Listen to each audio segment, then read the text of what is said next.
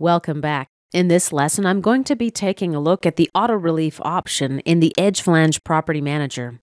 I've activated the tool. I'm going to select this edge. Now I'll click Edit Flange Profile. A Profile Sketch dialog window appears. Here's the sketch. I can adjust it right in the graphic area. As you see, I've got all of my sketch tools available as well. Let's add some dimensions. Smart Dimension, We'll make this distance 10 millimeters. This distance as well, I'll make 10 millimeters. And accept. The sketch appears in black line now, and it's fully defined. At this point, we can click Back. That'll return us to the Edge Flange Property Manager. Or we can select Finish, and that's going to create the flange. I'm going to click Finish. Here's my flange.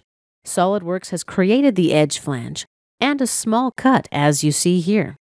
This cut is necessary in the machining process in order to bend the area form correctly.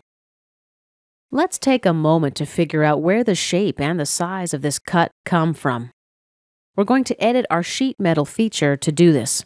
Let's right-click on the sheet metal feature, select Edit Feature. Scroll down to the Auto Relief section. It's enabled with a check.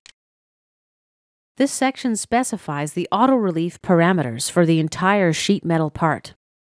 We've got three options for the auto relief rectangular, tear, and obround. Rectangular is selected by default. With the rectangular option, we specify a relief ratio. This is a ratio to the thickness of the sheet metal. Let's click OK to see how this looks. We'll go to the Evaluate tab, Measure tool. Let's measure the distances. And surely enough, it is half a millimeter or half of our thickness of one millimeter. Let's clear those selections and measure this distance now.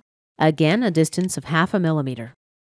Let's exit the Measure tool, edit the sheet metal feature again, and change the auto relief type. This time I'm going to select Obround. Let's make the ratio 1 and click OK we can observe that the cut is visibly bigger. Let's measure the distance. It should be 1 millimeter. It is indeed 1 millimeter. Let's clear those selections, and we'll measure this distance, also 1 millimeter. Let's take a look at the third auto relief type, edit the sheet metal feature. The tear type doesn't provide a ratio option. Let's click OK.